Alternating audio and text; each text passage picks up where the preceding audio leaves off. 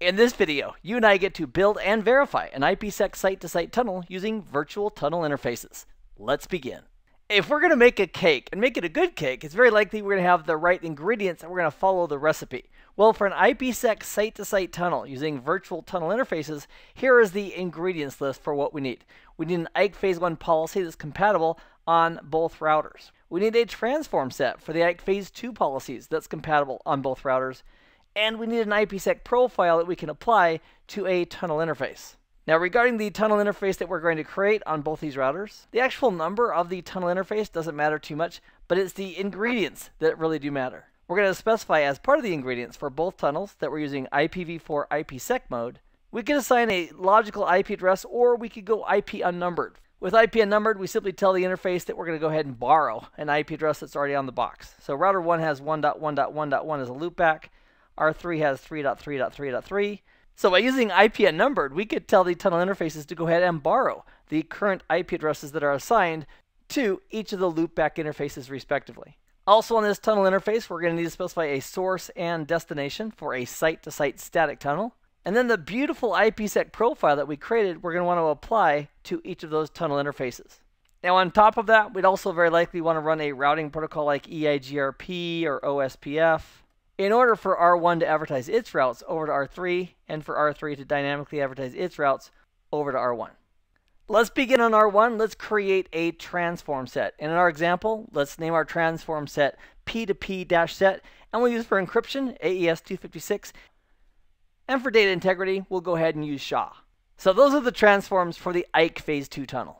Next, we're going to create an IPsec profile that says, okay, when this profile is applied to an interface, we want to use the transform set, the one we just created called P2P-set. On R1, I've already got an IKE Phase 1 policy configured, but if we want to verify what that policy is, we can do a show crypto ISAKMP policy. In the IKE Phase 1 policy, we're using AES, pre-shared key for authentication, SHA, a Diffie-Hellman group of 14, and a lifetime of 86,400 seconds. So the IKE Phase 1 policy on R1 has to be compatible with the IKE Phase 1 policy on R3. Next, let's create an interface called Interface Tunnel 1. This will be our virtual tunnel interface, and we'll specify tunnel mode, IPsec, IPv4. Now, for this tunnel interface, let's use IP unnumbered and say you can go ahead and borrow the IP address on loopback 0. We'll specify the source is R1's 15.0.0.1 address, which is its serial 1 slash 0, and the destination is R3's reachable address of 35003. And so for the tunnel source, we could either spell out serial 1 slash 0 or 15001. Either way would be absolutely fine. And regarding this beautiful IPsec profile, we want to apply that right here to this tunnel interface. And the syntax for that would be tunnel protection, IPsec profile, and the name of our IPsec profile. Now regarding a routing protocol, let's go ahead and throw in EIGRP Autonomous System 777. I'll do no auto summary, even though that's the default for iOS 15, and I'll add the network statements for the 10 network and the 1 network. And that will include the interface connected to 10.1.1, as well as the loopback, which also begins with a 1.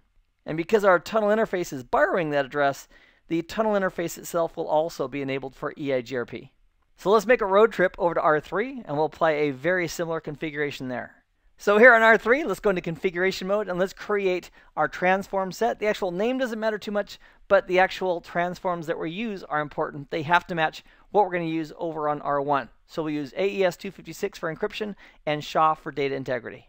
Next, let's create an IPsec profile that will go ahead and include that transform set. So our profile is called P2P-profile, and when used, it's going to use transform set P2P-set.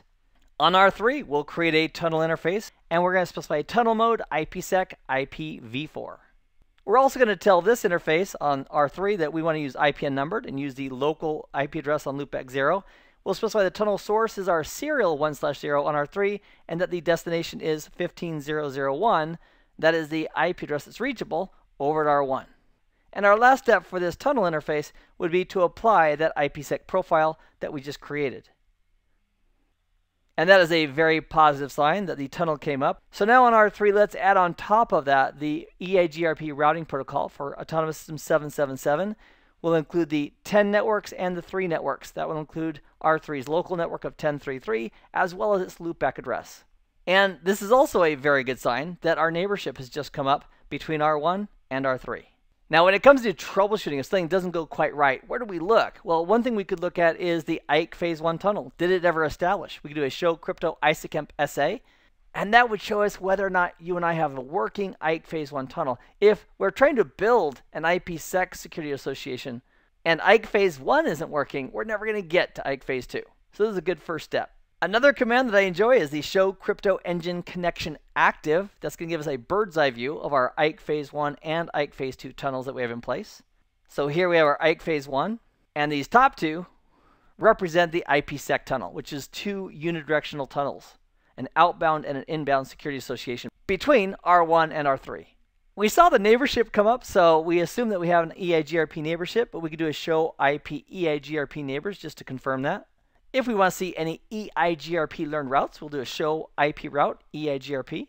So from R3's perspective, the 10.1.1 network is showing up as an EIGRP learned route. We also have learned about the loopback address of R1 because it's included in EIGRP as well.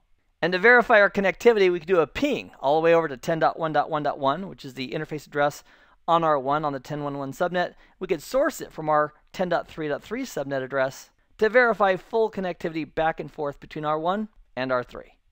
I have had a great time in this video. I'm so glad you joined me for it. I hope this has been informative for you, and I'd like to thank you for viewing.